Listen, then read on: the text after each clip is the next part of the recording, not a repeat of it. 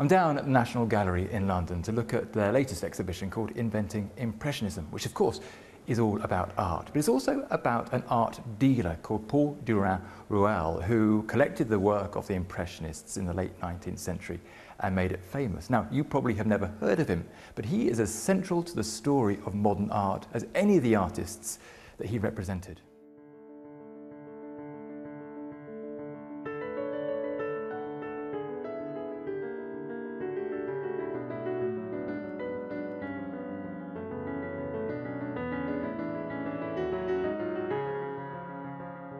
This is just one of the many rooms at the exhibition which gives you a sense for the sort of artists that Durand Ruel had supported. Over here we've got Degas, Sisley, Renoir, Monet, and right round here, Manet. I mean, it's extraordinary to think that they were pretty much unheard of when he first picked them up. In fact, Manet was basically penniless.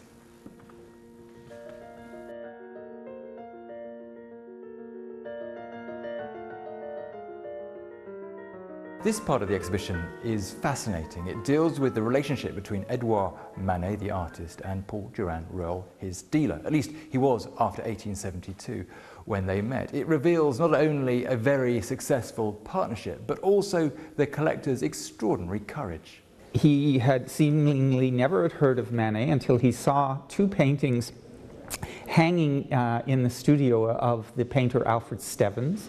He sort of said, who, who is this? bought them immediately.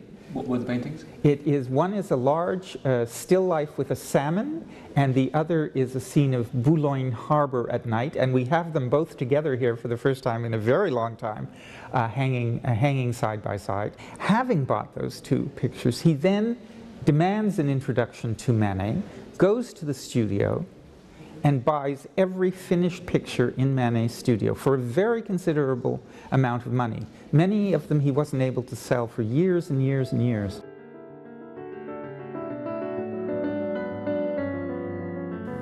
This is the room, I suppose you could say, is the moment that the Impressionists and Durand Ruel found success. It represents the show he took to America in 1886. The Americans lapped up the work. Here is a beautiful picture by Cezanne some more Monets, a wonderful Degas, and crucially for the success of this show and for the Impressionists, Mary Cassatt. She was a friend of all of the uh, Impressionist artists. She was herself a, an artist of considerable uh, skill. But in this context, what perhaps was important was that she was from the highest echelon of American society. And so when she spoke to Americans, they listened. He saw instantly the, the, the possibility of America. And within a, within a year, 18 months, he'd opened a gallery Uh, in New York on Fifth Avenue.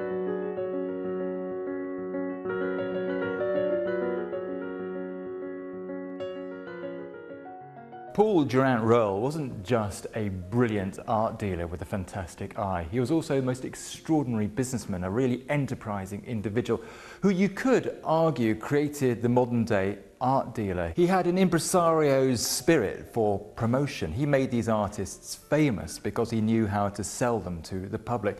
For example, he would make great big events out of their artworks. Here are five paintings by Monet of poplars. So there were 15 in all in one exhibition. And Durand Ruel told his audience, if you don't come and see them in my gallery over the next few days, you'll never see them again because they'll be scattered to the four winds. And of course, he was absolutely right. These paintings have been brought together by the National Gallery from all around the world.